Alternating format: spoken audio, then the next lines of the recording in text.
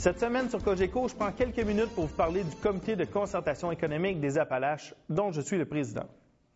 Ce comité regroupe les dirigeants des organismes dans les secteurs de l'éducation, de la santé, de la recherche, du développement économique, du commerce et de l'industrie, et des municipalités directement aux prises avec l'effet post-exploitation de l'amiante. Comme le premier ministre Couillard s'est engagé à aider notre région suite à la fermeture de l'industrie de l'amiante, ce comité avait pour objectif de centraliser les demandes de tous afin de coordonner le tout auprès du gouvernement. Les demandes sont de toutes sortes, pas uniquement du secteur manufacturier, car tous les secteurs peuvent contribuer à notre développement économique. Certains projets nécessitent une nouvelle enveloppe d'argent, tandis que d'autres peuvent être financés à même les budgets existants des différents ministères concernés. Parfois, c'est à coût zéro, à coût nul. Nous demandons qu'à régler des blocages rencontrés dans la, dans la machine administrative gouvernementale. Mais tous ces projets représentent un levier pour notre économie. Cela n'a jamais été un problème chez nous d'avoir des projets.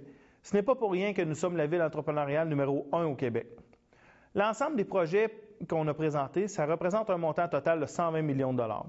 Il y en a vraiment de tous les genres, car notre développement peut être freiné de toutes sortes de façons. Par exemple, la commission scolaire ainsi que le cégep ont des projets visant à consolider ou à développer l'offre de formation.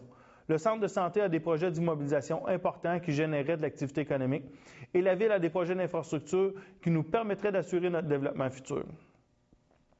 La Société de développement économique et la Chambre de commerce ont déposé des projets qui touchent plus directement les entreprises et le développement des affaires. Rien n'est laissé de côté pour favoriser l'essor de notre région. Le Comité de concertation économique des Appalaches a donc soumis au député Laurent Lessard la semaine dernière la liste de ces projets-là que nous voulons voir se réaliser. Je rappelle que c'est suite aux engagements du premier ministre Couillard en campagne électorale et après son élection que nous avons structuré les demandes de la région et souhaitons maintenant avoir les moyens pour les réaliser.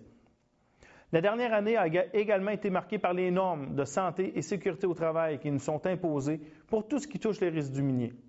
Ceci est un obstacle majeur à notre développement. La Ville a analysé la situation et soumis à la CSST un protocole de travail parfaitement sécuritaire. Nous avons fait plusieurs démarches appuyées par un comité relevant du nouveau comité de concertation économique afin de faire progresser le dossier. Nous avons obtenu que la CSST se penche sur la question et propose une nouvelle façon de faire.